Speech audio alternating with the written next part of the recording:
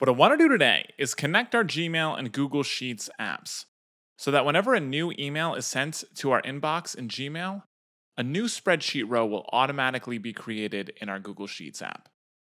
Zapier is a no code tool that makes it easier for anyone to automate workflows across 5,000 plus apps.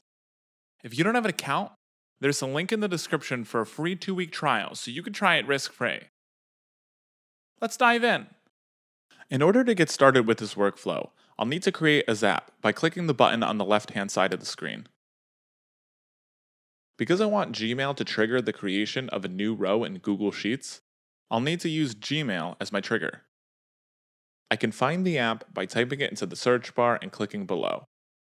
The trigger screen will then pop up.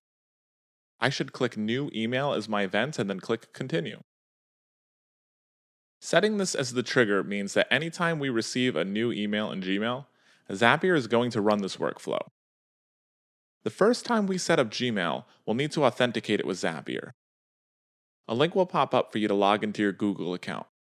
Don't worry, it's totally safe because Zapier uses industry standards for encryption when connecting with each of your apps.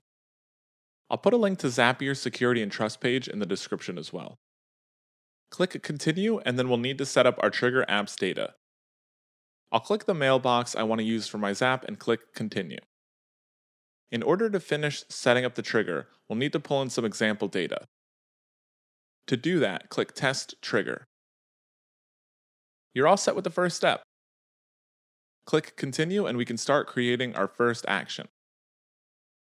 For my Google spreadsheet, I want to upload the date I received the email, but not the time. Because of this, I'll need to format my spreadsheet with the Format tool. I can find the Format tool by clicking the bottom button on the right side of the screen. For my event, I should click Date Time and click Continue. Next, under Transform, I'll click Format on the drop-down menu. Under Input, I'll click Date, and then under To Format, I'll click the format I want my date to be listed under, and then I'll click Continue. Click test and continue, and then we can move on to our second action step.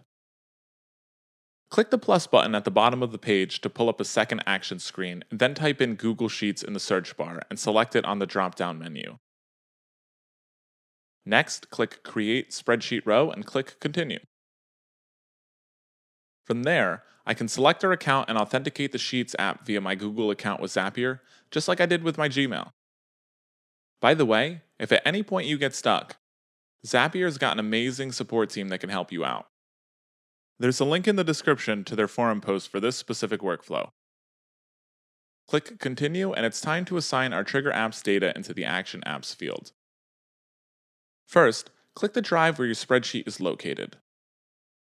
I'm going to click My Google Drive. Next, click the spreadsheet you would like your data to be uploaded to. I'll click Zapier Emails. Last, click the worksheet you would like your data to be uploaded to. I'll click Sheet 1. Once I fill out this data, the headers from my spreadsheet rows will appear. I'll fill them out accordingly. Under Sender, I'm going to click From Name. For the subject, I'll click Subject. Under the output, I'll click Output under the Date Format tool, and under Link to Email, I'll click Body HTML URL, which will direct me to any websites listed in the body of the email. Next, click Test and Review, and I should be all set. Yep, there it is. This is ready to turn on. Now, anytime we receive a new email on our selected Gmail account, a new row will automatically be created on our selected Google spreadsheet. I hope this was a helpful demo. Zapier can do so much more with these two apps than thousands of others. Check Zapier out. There's a free trial. Click the link in the description.